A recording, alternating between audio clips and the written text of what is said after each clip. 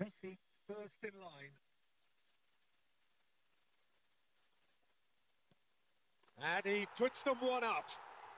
Good penalty. Completely wrong-footed the keeper. So the captain steps up. Oh, what a save! Well, that's great concentration from the keeper and a wonderful save. Argentina have the chance to pull away here. Utterly decisive, right down the middle.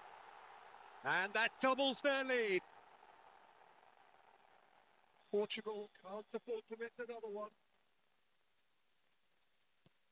It's their keeper rooted to the spot. I thought he did really well to hold his nerve then and score that penalty. This to double their advantage. That's a good penalty. They're two up. Portugal trailing by two now. Terrific penalty, unsavable. How confident was that? Backed himself all the way. Argentina with the chance to go two up. Two to the good.